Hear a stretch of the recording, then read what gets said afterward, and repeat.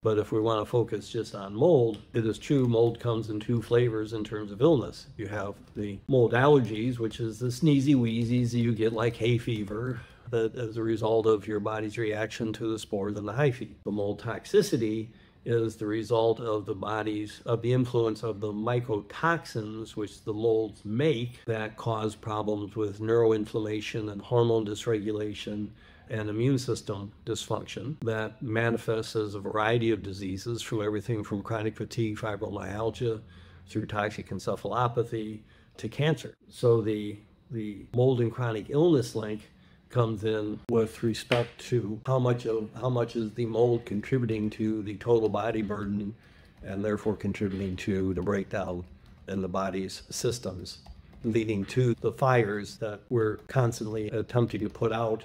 with traditional medication but failing to do so because we've never arrested the arsonist so if you want to look at the link between mold and chronic illness, look at mold as an arsonist and the chronic illness as the fire. The symptoms of mold toxicity are the same as the symptoms of potentially any any chronic illness resulting from a total body burden of toxicity.